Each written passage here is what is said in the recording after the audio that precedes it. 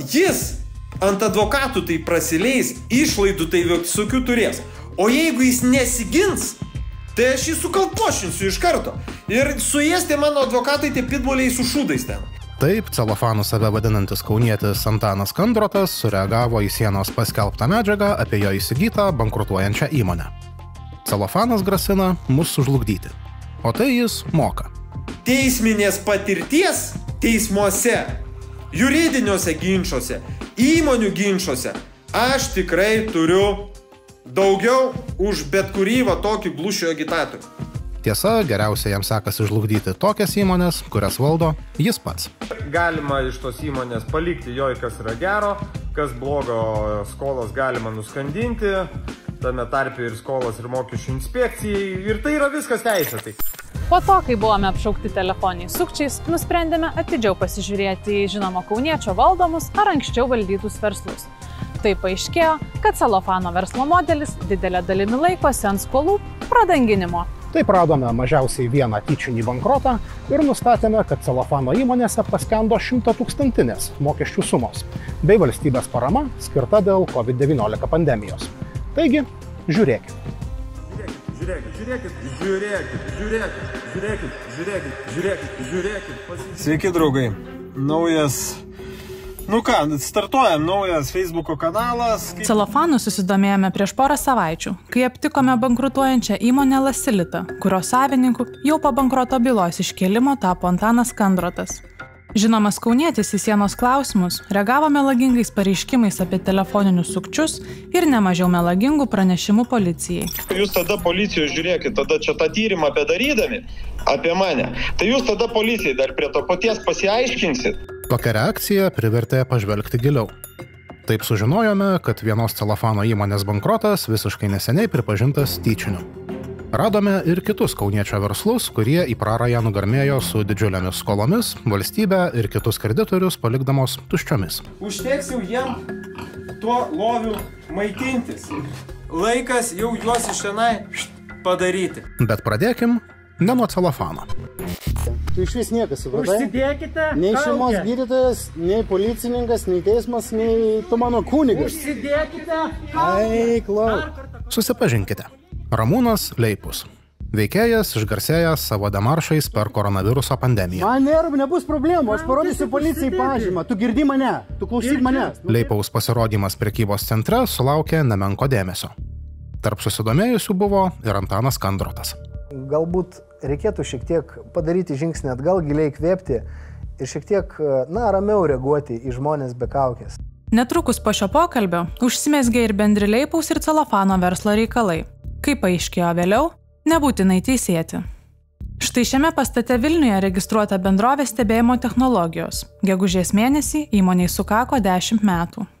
Nuo pat įsteigimo bendrovės savininku ir vadovu buvo Ramūnas Leipus. Tačiau 2021 m. rudenį į bendrovę atėjo naujas šeimininkas - Antanas Kandrotas. Praėjus vos keliams mėnesiams po to, kai Celofanas tapo įmonės savininku ir direktoriumi, stebėjimo technologijoms iškelta bankroto byla. Atidžiau pažvelgus į įmonės finansus, bankroto administratorius įtarė, kad Celofanas įmonėje galėjo atsirasti ne kaip investuotojas, o kaip duopkasys. Šie įtarimai pasitvirtino. Neseniai įmonės bankrotas pripažintas tyčiniu. Vilniaus apygardos teismas nustatė, kad Leipus iki akcijų perleidimo celofanui išpardavė didelę dalį įmonės turto ir nuslėpė bankroto procesų reikalingus finansinius dokumentus. Jų buvo bandyta reikalauti ir iš paties Antano Kandroto, tačiau jis tuo metu atlikinėjo laisvės atimimo bausmę Marijampolės kalėjime. Anot bankroto administratoriaus, Celofanas perėmė įmonę, kurios turto vertė viršijo 100 tūkstančių eurų. Tačiau didžiosios dalies šio turto nebeliko. Įskaitant ir bendrovės kasoje apskaitytus 33 tūkstančius eurų piniginėmis lėšomis. Negana to, Leipaus įsisteigė naują verslą. Bendrovę Apexis Baltic, besiverčiančią lygiai tą pačią veiklą kaip bankrutuojanti įmonė, jis įkūrė 2021 m. spalį. Prieš pat stebėjimo technologijų pardavimą celofanui. Senam verslui riedant į bankrotą, Leipus savo YouTube kanale jau reklamavo naują. Dėl šių ir kitų priežasčių Vilniaus apygardos teismas stebėjimo technologijų bankrotą pripažino tyčiniu ir apie tai informavo prokuratūra. Daugiausiai atsakomybės teismo vertinimu tenka Ramūnui Leipui. Antano Kandrato veiksmai taip griežtai neįvertinti, nes celofanas įmonė perėmė tuo metu, kai ji jau buvo pasmerkta žlugimui. Matėt filmą su Julia Roberts, Pretty Woman? Nu tai va, tas milijonierius ten irgi įmonės e, supirkinėjo, kurį vaidino Richardas Gyras. Ramūnas Leipus bandė įrodyti, kad įmonės pardavimas celofanui nebuvo fiktyvus. Jis nurodė akciją Skandrotui pardavęs už maždaug 23 tūkstančius eurų, atsiskaitant grinaisiais. Tiesa, jokių šio atsiskaitimo įrodymų jis nepateikė. Na ir kaip gali verslas nepriimti pinigų, grinųjų pinigų, kaip gali atsisakyti ir kaip gali jam nieko už tai nebūti, man sunkiai suvokiama. Apie šiuos ir kitus stebėjimo technologijų bankroto aspektus pabandėme pasikalbėti ir su pačiu Ramūnu Leipumi. Apie kaukės ir karantiną drąsiai kalbėjęs verslininkas šįsik nebuvo toks drasus. Norėjau tiesiog jūs trumpai pakalbint dėl istorijos su bendrovė stebėjimo technologijos. Čia, kiek žinau, buvo nuspręsta teismo neseniai, kad bankrotas tyčianis buvo. Nekomentuosiu, sudien. Ačiū. Antanas Kandrotas, paklaustas apie stebėjimo technologijų bankrotą ir leipui neva sumokėtus 23 tūkstančius eurų grinais, ėmė skūstis atminties sutrikimais. UAB stebėjimo technologijos, kurias jūs iš pono Ramūno Leipaus perėmėt. Kažkada jo tokias pirkau. Ir jau yra teismo sprendimas, kuriuo nutarta, kad bankrotas tyčianis ir jums tos akcijos tai... galimai efektyviai perleistos. Nu, nežinau, negaliu pakomentuoti, nieko nežinau apie tai. O jūs Leipui 23 tūkstančius grinai sumokėjote už tas akcijas? Nebeatsimenu, žinok, tik senai buvo. Nebeatsimenu, ar turėjo 23 tūkstančius grinais. Nu, gali būti, nu, tai iš daug ko neatsimenu. Man, kai Raskevičius pabučiavo, man taip sutriko sveikata, žinokit.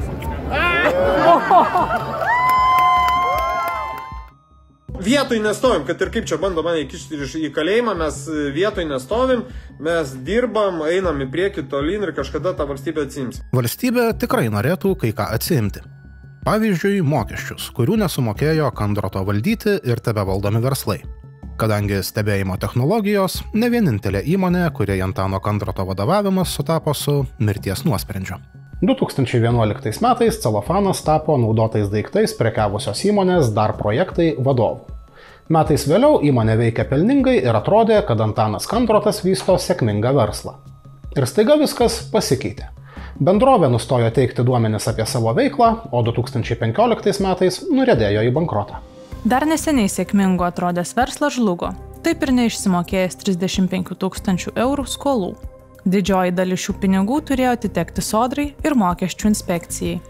2015 metais taip pat bankrutavo Kandroto vadovaujama bendrovė vaizdo stebėjimo sistemos. Įmonė žlugo negražinusi daugiau nei 67 tūkstančių eurų skolų. Viena didžiausių skolų - daugiau nei 23 tūkstančiai eurų, kurių neatgavo sodra. 2016 metais bankroto byla iškelta celofano vadovaujamai bendroviai Incom. Telekomunikacijų verslas žlugo su daugiau nei 45 tūkstančiais eurų skolų. Daugiausiai - valstybei. Dar vienas pavyzdys - baldų priekyba besivertusi bendrovė Stelažai LT. Vadovaujant celofanui, ji į bankrotą nurėdėjo 2017 metais. Mokesčių inspekcija iš žlugusio verslo neatgavo net 105 tūkstančių eurų. Šias keturias įmonės sieja ne tik bankrotai ir Antanas Kandrotas. Bendrovės jungia ir tai, kad jos ilgą laiką veikia registrų centrui neteikdamos jokių finansinių dokumentų. Tad kas kart pradėjus bankroto procesą, įmonių finansinę padėtį nustatyti tapdavo beveik neįmanoma. Keturias žlugusias celofano įmonės sieja ir dar vienas bendras vardiklis - dingę dokumentai.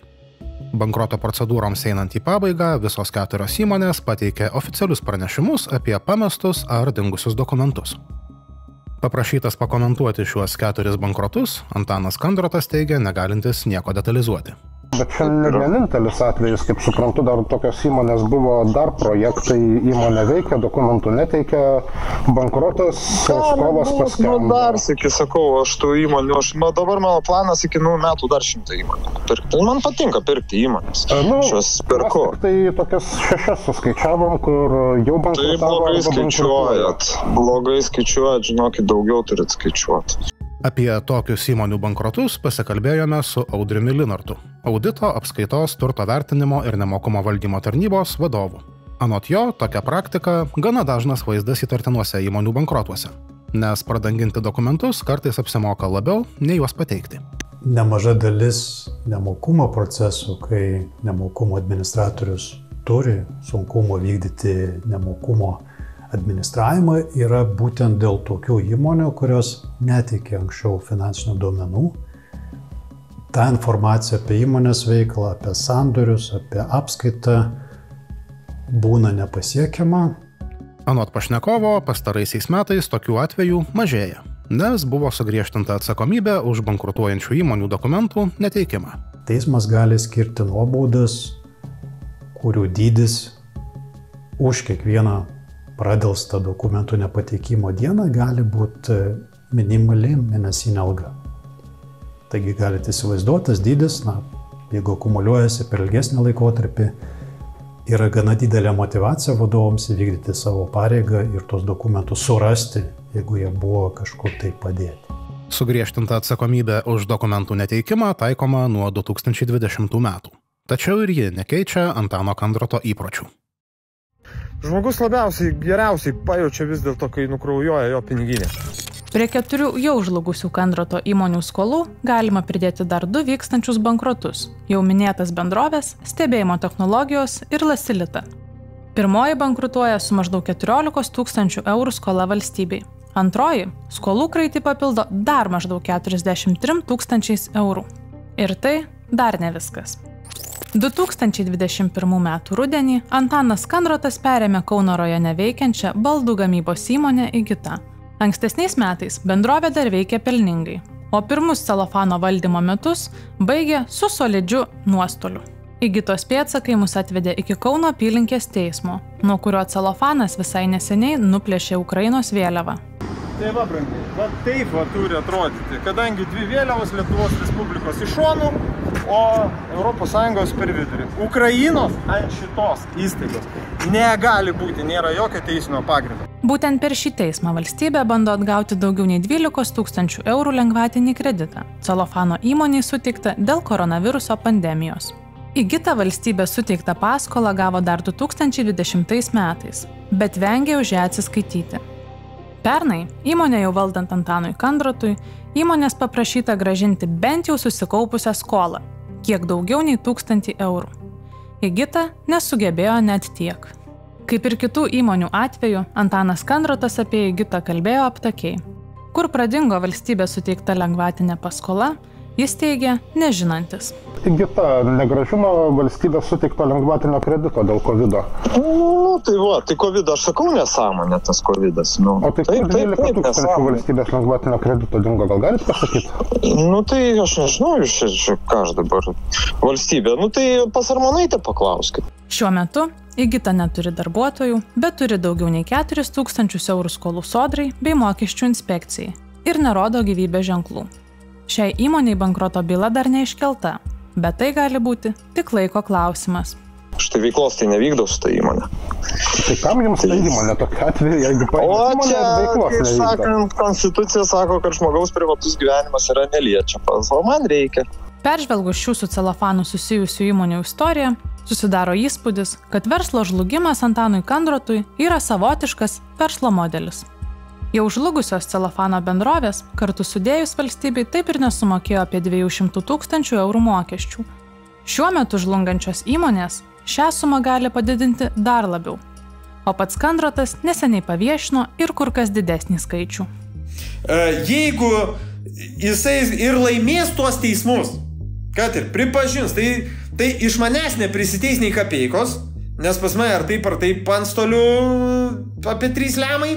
Iš kur tie trys lemai, celofanas nedetalizuoja.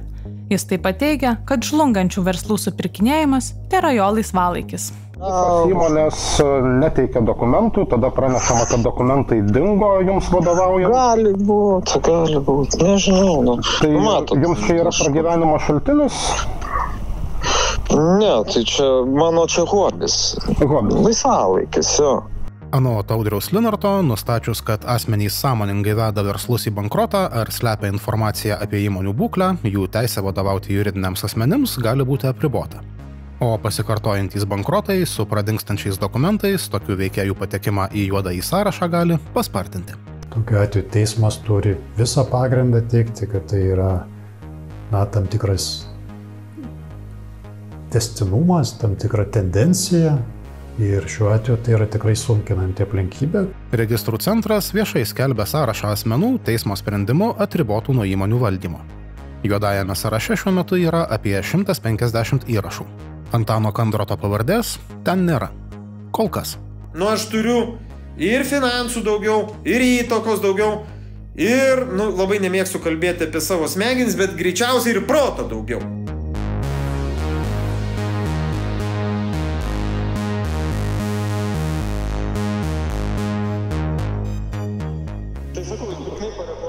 Tą šitą mano tą veiklą, kad aš perku tas įmonės ir toliau pirksiu ir jeigu turit draugų pažįstamų, kas nutraukia veiklą ir, ir nori įmonę, kaip sakant, nenori veltis į likvidavimo procesus, tai gali man parduoti, nenori kolekcionuoti. Jo, jo, jo. Tai šitą vaizdo įrašą įdėkit.